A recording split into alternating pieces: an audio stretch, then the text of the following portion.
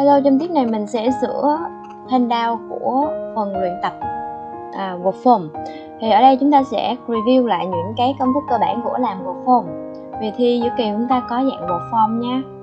Rồi, bắt đầu ở câu số 1 Ở câu số 1 thì mình sẽ phân tích là sau động từ to be. Thì chúng ta sẽ cộng cái gì? Nhưng mà nó có rất là nhiều cách để cộng sau động từ to be.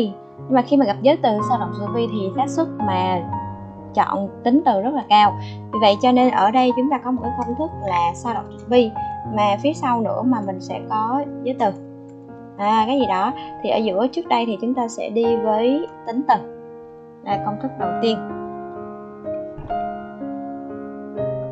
Như vậy câu số 1 chúng ta sẽ chọn là the elderly or more conservative.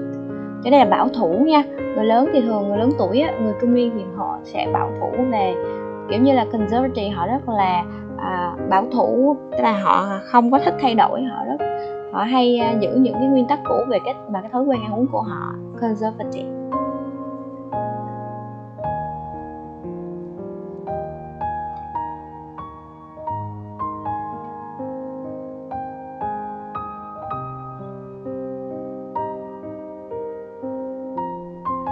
Rồi sang câu số 2 chúng ta có raise là động, động thì cộng tân ngữ mà chúng ta có đuôi os là đuôi tính serious, tính cộng danh.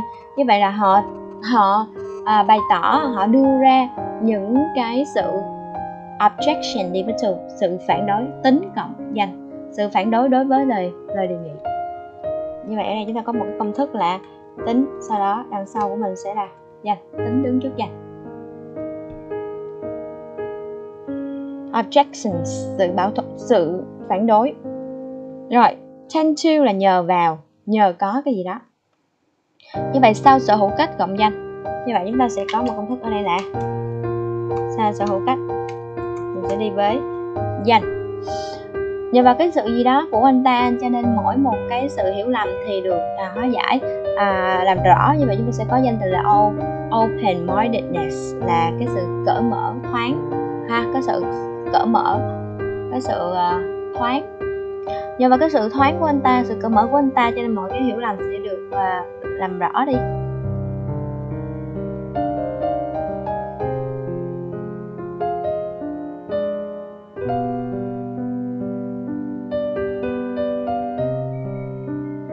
Sang câu 4 mình có động từ street là đối xử. Anh ta không nên đối xử với bố mẹ như vậy công thức ở đây là động từ theo sau mình sẽ đi với adverb trạng từ.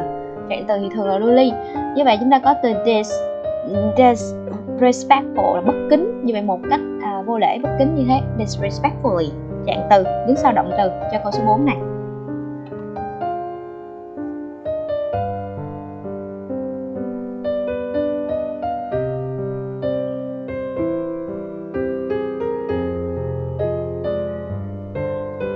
Rồi, câu số 5 Vợ tôi thì responsible for, chịu trách nhiệm cho việc nấu nướng. Đồng từ to be đi với tính từ là sao có giới từ nữa nè.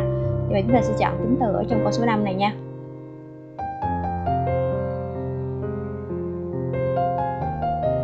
Câu số 6 Sau giới từ thì chúng ta đi với danh từ, Nhưng danh từ có rồi. Danh từ là close. Trước danh sẽ là tính. Vị trí này chúng ta dùng fashionable. Teenager thì rất là thích bắt kịp với những quần áo hợp thời trang nhưng mà ở đây chúng có một cái cụm rất là hay đó là put. À, cái cụm này mình sẽ học là put. À, chúng ta có put burden on somebody. À, đặt gánh nặng lên.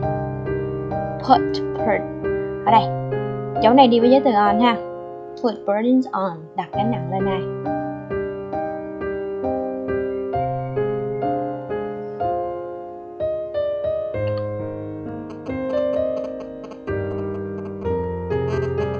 Rồi câu số 8 There are at least three generation. Như vậy, ba.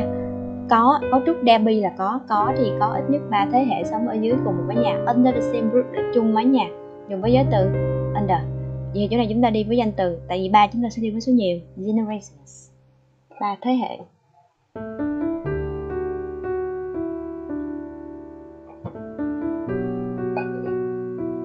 Sang câu số 9 giáo viên của tôi thì rất là sẽ động từ to be mình đã có tính rồi. Như vậy, chữ hàng này sẽ nói cấu trúc song song. Vậy thì tính và bên đây sẽ là tính sympathetic rất là cảm thông.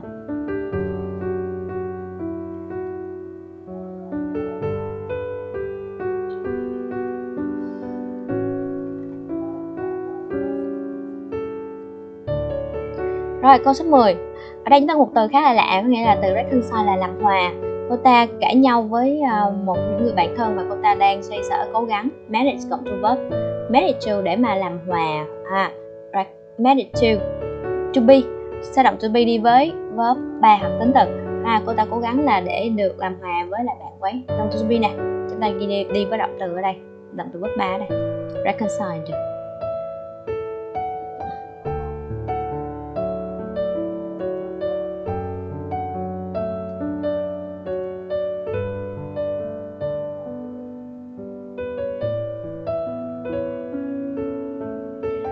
ở câu số 10 khi mà bạn có một cái romantic relationship, thì có nghĩa là bạn sẽ có một cái relationship dựa trên tình yêu và những cái thu hút về mặt cảm xúc. Vậy thì and cộng danh trước trước trước and là danh thì sau and là danh? Nhưng mà chúng ta đã có danh rồi. Vậy thì trước danh sẽ là tính, emotional.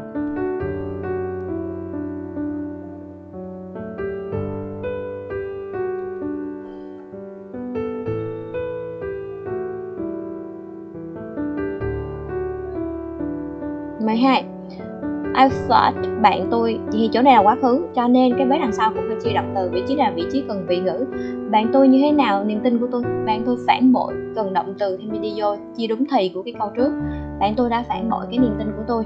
Vế đằng sau nó cũng chia quá khứ nè cho nên chỗ này chia động từ quá khứ. Câu 13 I mean ở uh, ở cộng danh. Như vậy là tôi uh, lo lắng rằng tôi uh, tôi in a relationship, có nghĩa là tôi, kiểu như, trong một cái mối quan hệ với ai đó, có nghĩa là đang yêu á. In a relationship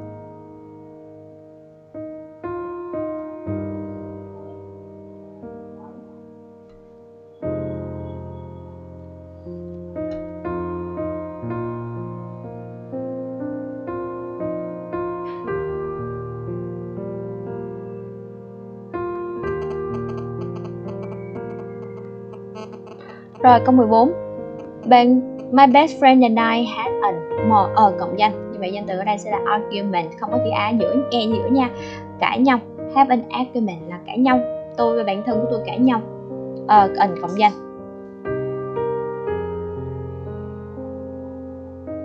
Rồi câu 15 sau true cộng bất nguyên mẫu? Như vậy là ba mẹ và teacher thì luôn nói với tôi rằng I have to concentrate. Phải tập trung vào. Cần động từ ha. Concentrate tập trung vào. Câu 16 thì uh, he asked the same question again and again. Chỗ này là đáp nha. That he asked the same question again and again is. Cái này là một cái mệnh đề. Ha mệnh đề danh từ. Thì anh ta cái việc mà anh ta hỏi cùng một cái câu hỏi hỏi đi hỏi lại hoài thì so frustrating. Rất là bực bội phiền phức sau động từ to be cần với cần tính chỉ tính chất của nguyên cái sự việc chủ ngữ đằng trước. Thì nguyên cái vế đằng trước là chủ ngữ lớn ha? Vị ngữ của mình là sau chữ is. Thế là chúng ta cần cái tính từ đuôi yên là chỉ tính chất. Cái việc này rất là gây bực bội phiền phức. Câu 16 ba mẹ sẽ put their trust tức là đặt niềm tin vào Miss Lam bởi vì she is an uh, tính danh một giáo viên có nhiều kinh nghiệm experience là tính từ có nhiều kinh nghiệm.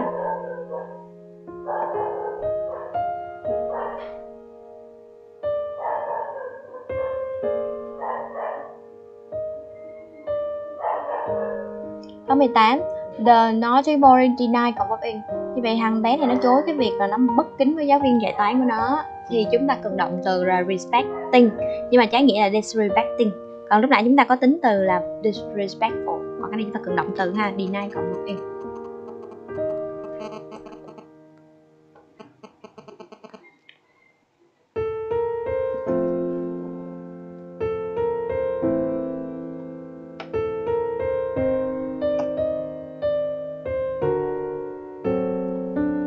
2019. Finally, sau nhiều nỗ lực thì anh ta có sau a lot of cộng danh. Nhiều gì trong việc bảo vệ? Nhiều thành tựu achievements. Chỉ số nhiều ha Nhiều thành tựu thành tích trong việc bảo vệ động vật hoang dã. Câu 20 Cái việc có quá nhiều con thì từ đấy đây là chủ ngữ đã đặt rất là nhiều cái gánh nặng tài chính lên. Dưới từ on hồi nãy nè Ở đây chúng ta có gánh nặng tài chính thì trước danh là là tính. Financial a lot of cộng danh trước danh là tính. Financial burden gánh nặng tài chính.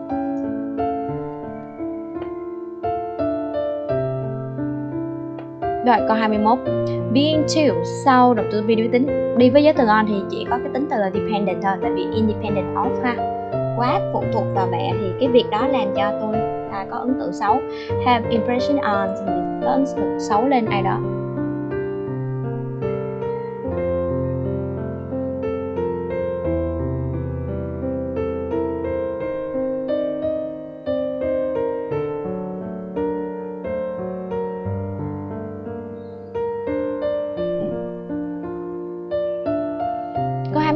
Sao động từ to be đi với tính.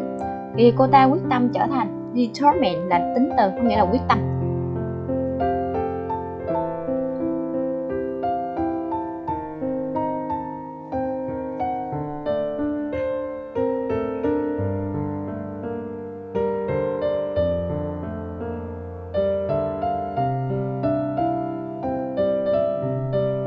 Câu 23 You should you should think it over before making that decision. Before making that decision. Trước khi đưa ra cái quyết định.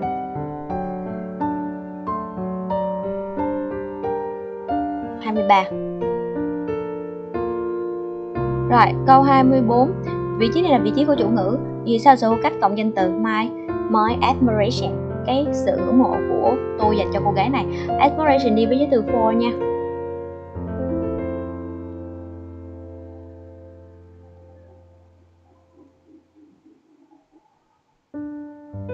Rồi 25 uh, Before watching TV Vậy thì trước khi mà xem TV thì tôi phải hoàn thành tất cả những cái assignment These assignments. This that these đâu cộng danh nha. 26 Family đóng một cái vai trò quan trọng trong việc thành lập thiết lập cái gì? Cái tính sự tự trọng tự tôn của con uh, con nít. Self esteem là cái sự tự tôn tự trọng.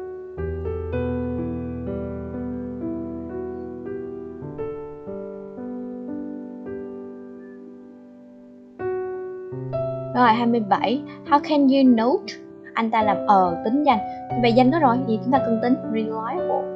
Làm sao bạn biết là anh ta là một cái người đáng tin cậy? Reliable.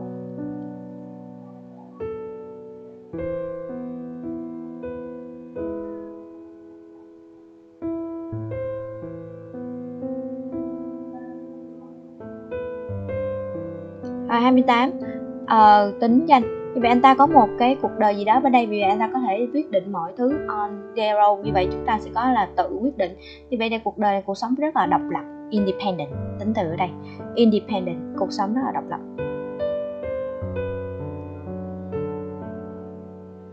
Rồi 29 thật là quan trọng để dạy học sinh trở nên sau become cộng tính từ. Thì tính từ ở đây là confident, tự tin và mạnh mẽ. Có ý chí mạnh mẽ, strong will, become cộng tính nha. Và câu 30 Getting involved in a romantic relationship. Ờ, Tính danh một cái mối quan hệ lãng mạn. Như vậy là phần sửa của phần này ở đây nó à, đã kết thúc ha. Chúng ta sẽ qua một cái loại làm bài tập khác nữa.